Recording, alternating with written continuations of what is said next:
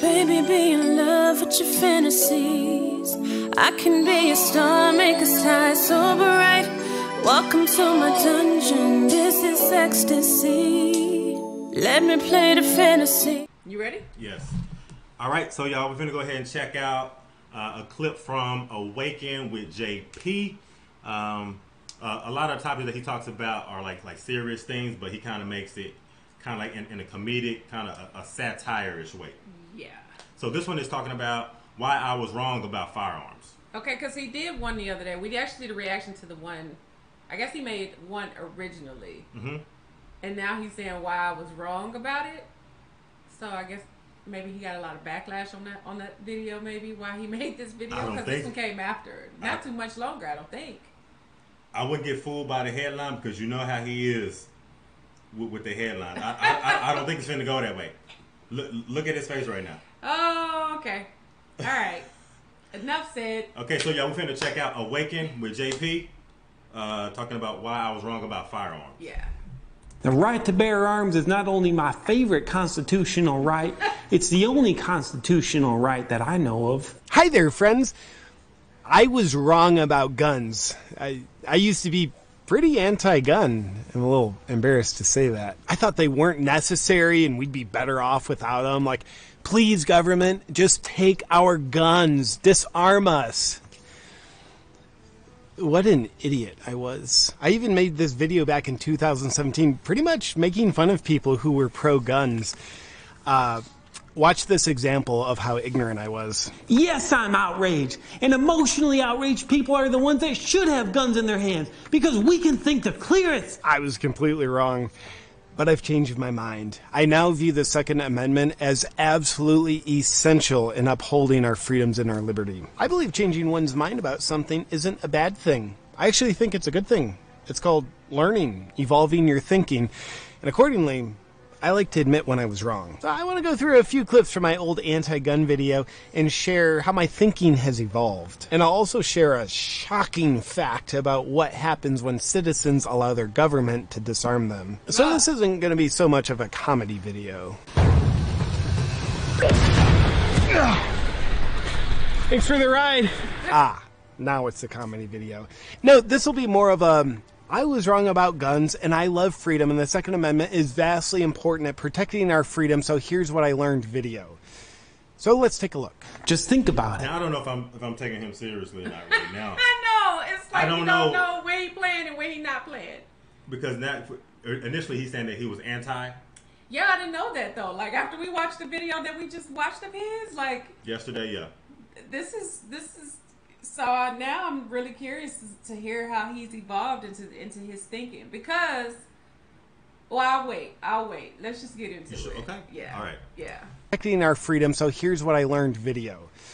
So let's take a look. Just think about it.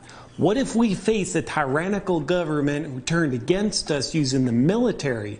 We would need guns to form a militia to fight the oppressive government. A tyrannical government? Well, that could never happen.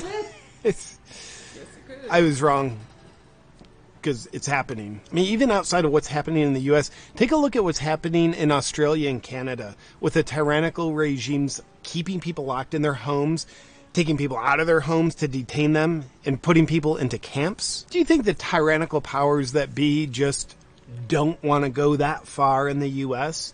No, of course they do. There's just one minor difference. The U.S. population is armed. The Second Amendment is intended to allow citizens to protect themselves from a tyrannical government, but Australian and Canadian citizens have been disarmed, which means they don't have any inherent protection against the authoritarian government and what they're trying to do to those people right now. And how can the Chinese Communist Party abusive Well, what are they trying to do to them? disarm them. I, I'm, I don't know. He said what That's they what- trying to do so to the far. people. In, what they trying to do to the people in Canada? I was not aware of that. I mean, what? Oh, you know what? Because I did see something in regards to Christie recently, uh, putting something into play in, in regards to Canada, like in regards to like firearm laws. I did see something in regards to that. If anybody, Really? if anybody knows about that, y'all can like chime in. But I did see a headline in regards to Canada recently within like a week or two. So, so firearms are not allowed in Canada. I have no idea. That is really surprising to me. No, I, I, I believe that they can have them. I, I'm not. I, I don't think. No, they're not to that point where you just cannot have one. Okay, he. No. I thought he said that that that they disarmed their population. Probably to a degree where they've taken taken some things away, but I don't think that they've completely just completely eradicated it. If, if they did, y'all let me know. Come on, Canada. Cor- correct me if I'm wrong. Let us know. I need to know about this. Oh, they might be banning that uh, hand firearms in Canada. Woo! Okay. and, and what they're trying to do to those people right now. And how can the Chinese Communist Party abusively walk all over their citizens?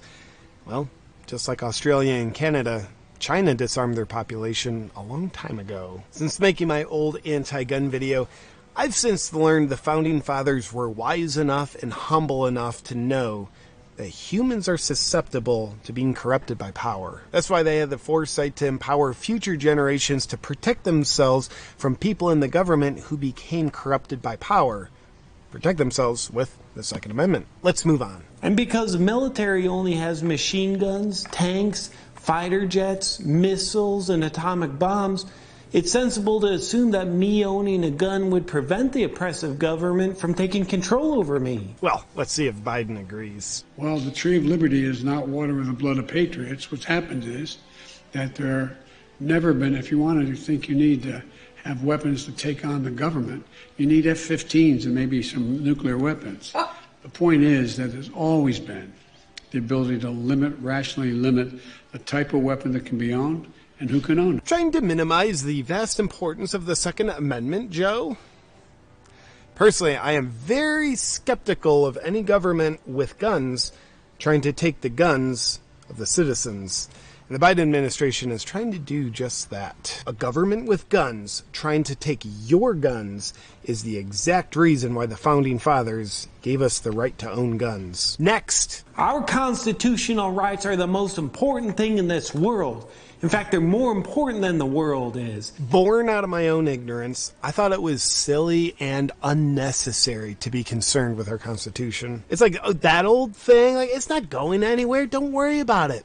Do we really need to talk about it? But since then, as the hmm. current administration has absolutely walked all over every constitutional right of ours, I've snapped out of my ignorance and realized not only is the Constitution vastly important because it's what gives us freedom, but protecting it is just as important. So I've learned that protecting and preserving the Constitution is necessary in order to protect and preserve our lives as free, sovereign Americans. The right to bear arms is not only my favorite constitutional right, it's the only constitutional right that I know of. There's a quote from Dave Chappelle that says, So it's it seems like he's like he's like he's like the typical like I guess like redneck type the way he talking though, Oh. it's just like American with that type of like mind frame. That's what he's speaking about. I don't. That's who he's depicting right now. yeah. Because he's like, you're not going to take ours. I mean, when you think about it, though, like if, if I'm being completely honest, there was a point, like in time, where I felt like, you know, maybe maybe we shouldn't have them, but like as time progressed, like I feel like it, that was something that evolved over time, like that I kind of had to like fix myself to understand why it's important that people have the right to bear arms, but it depends on who you ask because I feel like people have been affected differently. You know what I mean? Like if you ask somebody that has been in a in a in a you know in a situation where where there were firearms involved heavily, you know, and and, and you one thousand percent had your your life fear for your life, I, I feel like you would think differently about people who have access to that kind of mm-hmm. stuff. Because they, cause Versus- the, cause the everyday average Joe hadn't been in, in a lot of those Right. particular situations. I mean, we just had this situation. I mean, there's multitude of eh, like situations and and instances where people would be like, "Why do they even let? Why? why do we even have that?" Mm-hmm. But then there's other situations where it's just like, you know, that shoot. Some people are, are thankful that they had what they had to protect themselves Right, right, right, because right. they needed to, you know. So I just feel like that that's just a revolving door. It depends on who you ask and how you feel about it. But Yeah, even for me, I'm like, I, don't, I wouldn't want anybody to be trumping over my Second Amendment right.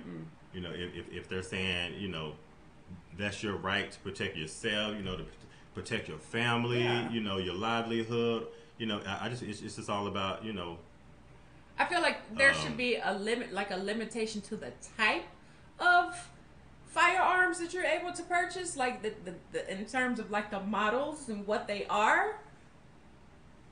But essentially, like, no, I, I wouldn't. I, I wouldn't just take it away. yeah, I personally wouldn't. Take yeah, it away. and, and that's just my personal opinion about that too Yeah. as well. Definitely, definitely, definitely, definitely, I'm definitely against that. yeah. It's the only constitutional right that I know of. There's a quote from Dave Chappelle that says, "The First Amendment is first for a reason. The Second Amendment is just in case the first one doesn't work out." Yep. Seeing what's happening today and throughout history has pretty much opened my eyes to realizing that all the other amendments pretty much hinge on the Second Amendment. Because without it, the other amendments can be taken away, and citizens have no way of protecting themselves from the people trying to take away their rights. Look at my finger on the trigger. Now, this is a fake gun in the video. By the time I put the video out, the comment section was loaded with people just being like, hey, get your finger off the trigger, you nut job. I'm like, you're a nut job. Now I get it. Even with a fake gun, proper trigger safety is damn important mm-hmm. because you wouldn't want to enforce a bad habit which leads you to accidentally Alec Baldwining someone. I own a gun to protect me and my family. Old JP thought owning a gun to protect your family was just a deceiving excuse to own a murder weapon. Wrong again, JP. Like, I have a family now. So now I very much understand that being able to protect your family is part of what makes you a true man, father, and husband, instead of relying on someone else to protect your family. Now, if you're like, well, JP, I'm not set up to protect my family, so what are you saying? Uh, well, I, I'm saying you're not a real man. I think better to have a gun to protect your family and not need it than need a gun to protect your family and not have it. I just use the gun that I keep on top of That's exactly what I was just trying to explain. like it's it's a different situation when you feel like, man, I'm I'm glad I, I did have something to protect myself rather than mm-hmm. not having anything at all. You know, like It's all about self perseverance. You know, I mean, you, everybody have to look out for themselves, and, and like you said, at the end of the day, you want to be able to protect yourself to the fullest heck extent. yeah, it's a scary you know. situation. I mean, it's scary either way you want to put it. It's you know, it's a very sensitive topic. I feel like, and it's it's unfortunate because of all the you know events that have taken place over And the, and- the course of the last you know And, and, and it's just so touchy, you know, in regards to like stuff that goes on, especially when you start bringing up like mass shootings and things of that nature. Yeah. And then you start seeing like the media and you start seeing it fester up again in regards to talking about, you know, gun policies, gun control, and Yeah, but you know, what's all of that. to me like I feel like we need to address what the what the actual issue is because for those situations to happen, like, and not necessarily I'm talking about crime, like just your, your regular crime, you know, uh, but. I lost my train of thought. I lost my train of thought, but uh, damn it, Yeah, I mean, you were just saying that just at the end of the day, I mean, you know, we're all entitled, you know, to that Second Amendment. But I mean, like you said, you have to be able to protect your family. You know, I forgot what I was going to say. People though. Around really you. good. Okay, you sure? Let me let me give you a second. let's just let's just keep going. Okay. Than need a gun to protect your family and not have it. I just use the gun that I keep on top of my safe. Every night. No, you look right over there at that one, honey. Now, I'd like to point something out. How good is that accent I'm using? I think it's pretty good. I practiced it for like 30 seconds before I shot that video. And the reason why I use a southern accent in this gun video was to help portray gun owners as stupid.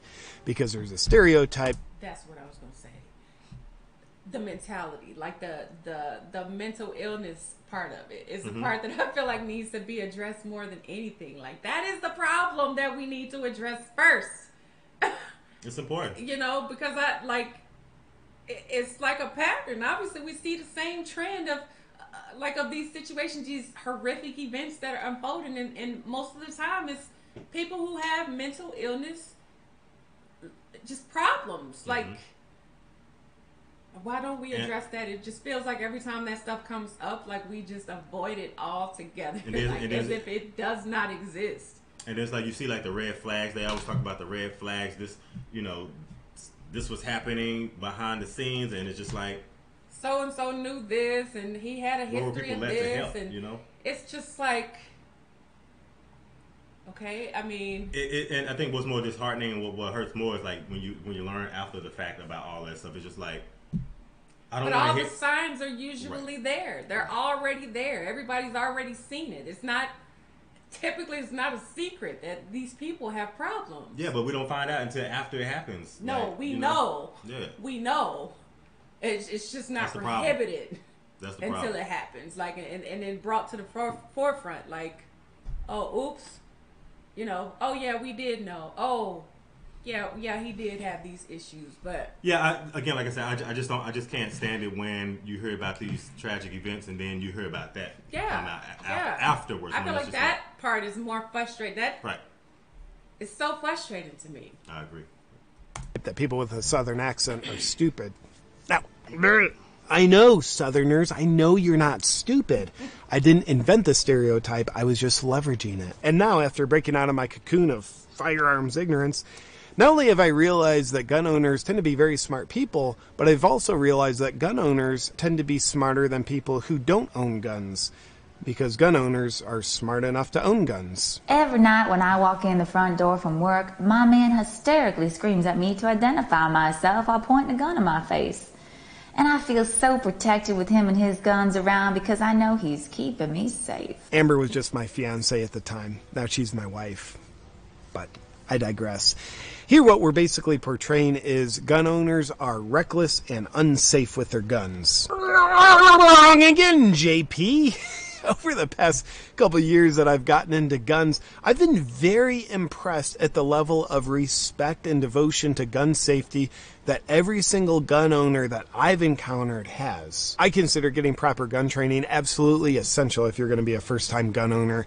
I think owning a gun and not having proper training probably puts you in far more danger than the level of protection it gives you. Now, the first thing I did when I bought my gun was an immersion course on gun training with Sheepdog Response.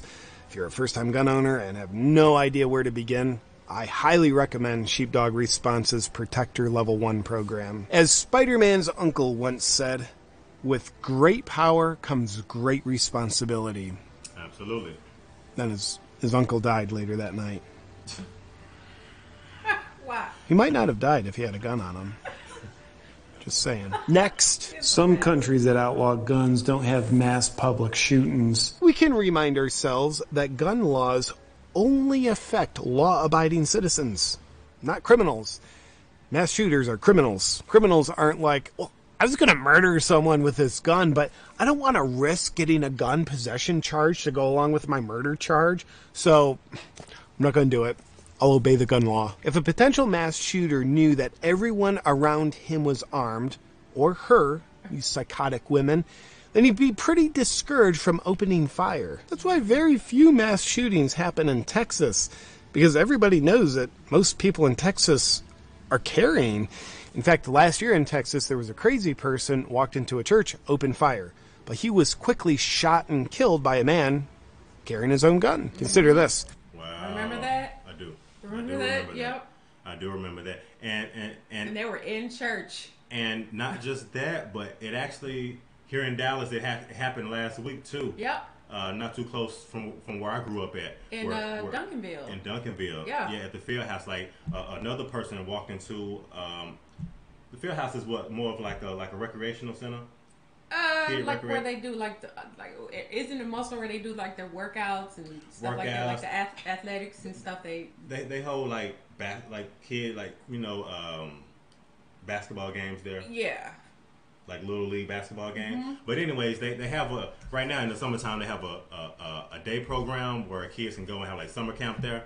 And like last week, uh, an individual walked in there to do the exact same thing to have a mass shooting in this particular place where kids were having like summer camp, and the same thing happened where Mm-hmm. Little a pers- kids. where a person was there and and they were able to save the kids. They were able to save you know um, the summer camp director, like all the people that were there, they were mm-hmm. able to, like, to get the kids to a safe area, and then at the same time they were able to dis- disarm the guy, and, Yeah. and and you know they killed him. Mm-hmm. You know, so again, like just like you're talking about right now, we got to be able to protect ourselves. but he was quickly shot and killed by a man carrying his own gun. Consider this Switzerland issues all of their citizens a gun and the proper gun training to go with it. And that helps give Switzerland the lowest rate of gun crime out of any civilized country in the world. Let's bring this home. Some countries that outlaw guns don't have mass public shootings, but they don't have real men in their countries neither. Remember that whole guns are meant to protect you from a tyrannical government kind of thing? Well, anytime a government disarms their population, they always tell them, we're doing this for your protection. Sound like a familiar narrative? But what the government doesn't tell you is, now you won't be able to protect yourselves from us. I think we can either look at history and learn from it and do things better, or we can look at history and ignore it and repeat the same patterns. Something history teaches us is that any time a government takes away their people's guns, catastrophe follows. I wish this wasn't the case, but it's a true pattern in history. For example, consider these shocking historical facts about what happens when a government disarms their population. In Oh man, this is about to this right here. I know he about to run down the list. Get your notepad out. Oh man. Get your notepad out, write Okay, this down. y'all. Okay, take a deep breath. Fifty-six million. Here we go. these shocking historical facts about what happens when a government disarms their population. In 1911, Turkey established gun control. Then from 1915 to 1917, 1.5 million Armenians, unable to defend themselves, were rounded up and exterminated. In 1929, the Soviet Union established gun control. Then from 1923 to 1953, about 20 million dissidents, unable to defend themselves, were rounded up and exterminated. China established gun control in 1935. Then from 1948 to 1952, 20 million political dissidents, unable to defend themselves, were rounded up and exterminated. Germany established gun control in 1938. Then from 1939 to 1945, a total of 13 million Jews, unable to defend themselves, were rounded up and exterminated. Cambodia established gun control in 1956. Then from 1975 to 1977, 1 million educated people, unable to defend themselves, were rounded up and exterminated. Guatemala established gun control in 1964. Then from 1964 to 1981, 100,000 Mayan Indians unable to defend themselves were rounded up and exterminated. Uganda established gun control in 1970. Then from 1971 to 1979, 300,000 Christians unable to defend themselves were rounded up and exterminated. 56 million people were rounded up and exterminated in the 20th century because of gun control. It is essential for America to protect our Second Amendment. It's not a stretch to say that our current government is already enacting tyrannical mandates and eroding our freedoms. And the same administration wants to get our country to a point where the citizens are disarmed. We know history. And therefore, we know it's important to stay armed. Again, consider Australia, Canada, China, and even North Korea. They have severe tyrannical rule and abuse because those societies are not armed. It is a pain in the ass for a government to Do you think that's why that they're that abusive though? Is because their their population is unarmed, like they can't defend themselves against like the abuse? Because I, I you know, I I brought to you a lot of stories and stuff that I've seen, like read of, of different countries and stuff. Like I won't go into it, but i- is that why that they that they treat them that way? I mean, I'm- I, I mean, obviously, if you give the gov- the government that type of power over you, what do you think they're going to do? That I mean, they can use as much power, as much force against you as they want because they have you at a, at, at, at a weaker stance. Man, that is scary. You know, and not even that, but a lot of things that he's saying here in regards to like Cambodia, Turkey, China, uh, Guatemala. Australia. Australia. Like I would want to kind of like look into like the chain of events that actually happened because he was giving dates in regards to like people, groups of people being rounded up and, and, and killed, Yeah, exterminated. I would want to like know a little bit more deeper in regards to like what was going on because he just it's, it's just so vague because he's just saying this what happened, this happened, this many people, but like what was but What the was going on? history behind them all is, is like you said, they they all basically gave the same reason as to why they felt like they should have the gun control laws. Hy- hypothetically, been because it was to protect the people, Right. A- and and ultimately it was like a You got duped. you got you got got Mm-hmm. you got got. societies are not armed. It is a pain in the ass for a government to violate people when people can defend themselves from being violated. Oh, and along those same lines, here's a fun fact.